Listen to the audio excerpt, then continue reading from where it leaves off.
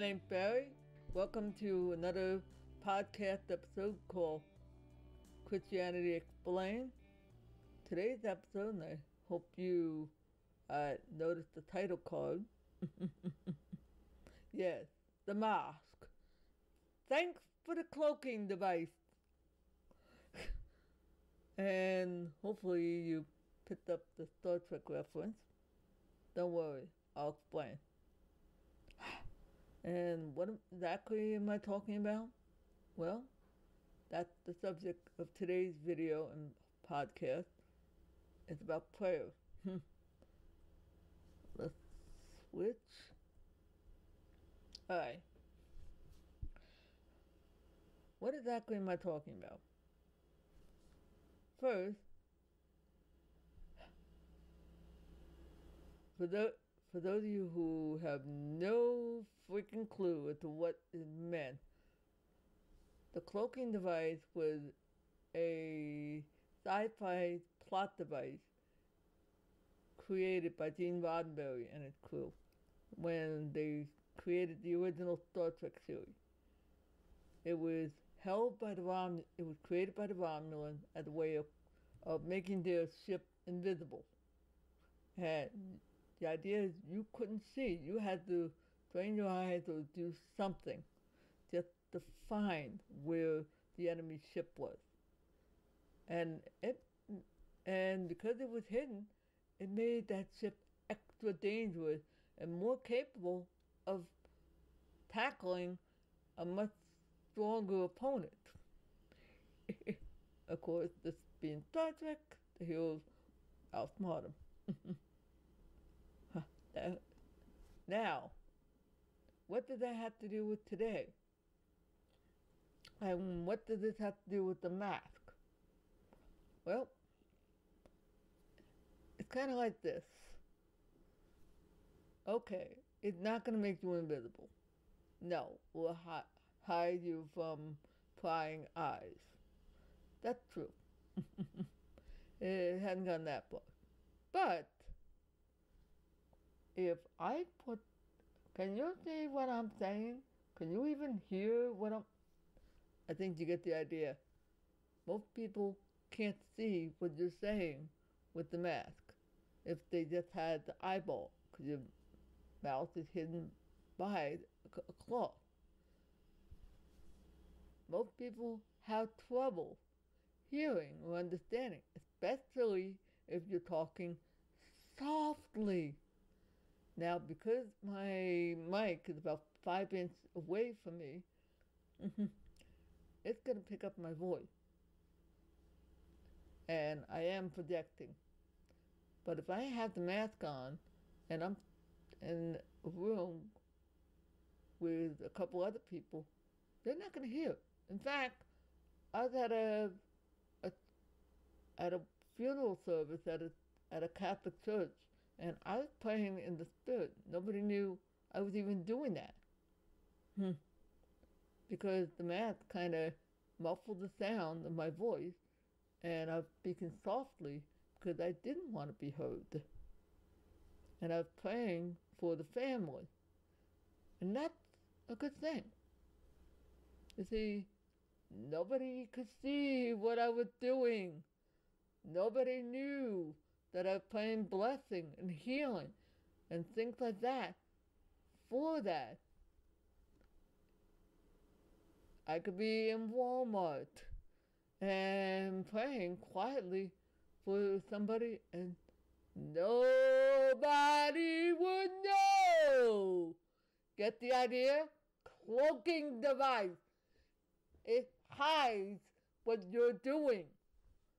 So, my dear intercessors, and those of you who might now, and by the way, this is also good news for you who are not comfortable with the whole idea of praying in tongues.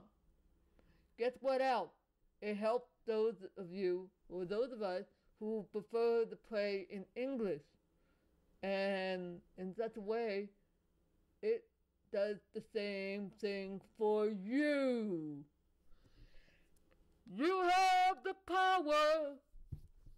You had it the whole time. It hides what you're doing in such a way that people don't know what you're doing. They don't see uh, you using your voice in prayer quietly. Nobody knows. They can't see. That's why I gave this podcast the title I did, The Mask. Thanks for the cloaking device! I actually wanted to put in a little epithet, but I think you can guess what it might be. but I want to encourage you uh, not to be afraid of, of playing effectively. Because right now, there's a lot going on in this country alone. And I'm sure it's true enough for Christians in other countries. That prayer is very essential. And it's hard, especially when pe- when the culture seems hostile to it, and that, and that, in fact, it's always been hostile. But that's why it's so important that we pray and not be afraid of praying for people around us or even in public areas. And when you have, and I know a lot of places are insisting on masks. Okay, fine. I get to do a little stealth operation. Whoop. Are you seeing what I'm getting at? Instead of being critical and saying, ah. Okay, I don't like the idea of government forcing the issue. It should be a personal decision yourself. You should freely, yes, we need to do something, and yes, I've heard that it does reduce it to some degree, like 80%, I think, from what I understand. But guess what? I could sit here argue all the time, but I'm, t- I'm arguing instead, instead of complaining about it, berating other people, especially brothers and sisters in Christ, why not turn the table on the enemy? And I'm talking about the spiritual enemies and those who are kind of swayed. Turn the table turn it around. Say, okay, you're going to insist wear a mask? Thanks, stupid! What a cloaking device! Full I'm maximum. Are you to see? That's what I want to pray. That's what I want to encourage you. Not to feel intimidated by what people are doing in that. Because that's what prayer is. By the way, I had another reason for the whole idea of a cloaking device, phasers on maximum, and all that stuff. You do recall that, according to scripture, we are in a war, of a spiritual warfare. We wrestle not against flesh and blood, but against powers of principalities and rulers of the air. That's the enemies that we're supposed to be uh, going at, at. That's the one that we wrestle with. That's the one we're fighting against, not human beings who are so easily influenced by that, especially if they're not aware that there is a, an opportunistic schemer looking to exploit. So by praying, and you want, and you have to be in an area that says, "We're ma- fine." Cloaking device. Ooh, eh, boom. Start thinking that way in case you since you what if you're hearing this, that was the fifth hitting the, my hand to kind of indicate that's what we're supposed to do. We're supposed to be combative. We're supposed to go after. Now, I have wonderful friends who aren't gonna talk or put talk like I do, but uh, don't let them fool you. They're just as hard hitting as I am. They just don't use the language I do. So Make no mistake. I have the wonderful friends who have a quiet voice, and they are. That's just as capable. Father, and I pray that more people would be emboldened by uh, that. See, that's what it is. And that's the funny thing. Then he is trying to keep people from being aware of what they can do and that. Now, this this is an endorsement of, of the, silliness from the no, but if they're gonna give me a weapon uh, uh, like that, like a cloak, right? Then hey, See ya, stupid! but see, that's what it is. Like, what can I say? I hanged out, out with guys who were, who were very creative in what they did in a fantasy role playing game. Uh, if you give them something, they'll exploit it. so, and I learned from them. Uh, it's a good thing. they pray that it's used in a good way. That's like that. But remember, you're not going at it alone. You have the Holy Spirit in you. If you are a follower of Christ, you have the Spirit of God in you. He's able to give you the strength, the courage to go and do. He is able to give you the word. Just quietly in your mind, ask Him for those words to softly and quietly behind that cloaking device, the thing that everybody insists you wear, and just quietly pray, boom, like that. hey, they're gonna be that stupid. but I want to encourage you. Be not afraid of that sort of thing. oh boy. I will be following this podcast up with a little bit more of a detailed uh, blog post. It should come out sometime Thursday. Hmm. I'll follow it up with scriptures. That's kind of what I'm doing.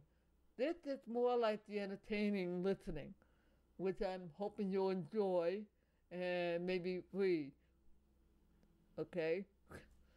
Hey, I want to thank you for your time. I hope you uh, uh, this piqued your interest.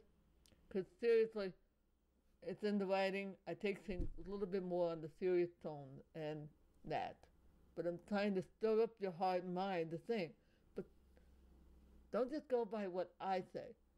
Go to the Father. Ask Him. Ask Jesus. Like, what the heck is He talking about? He quoted something from Ephesians uh, 5. I believe it's Ephesians 5 or 6. We wrestle not against flesh and blood.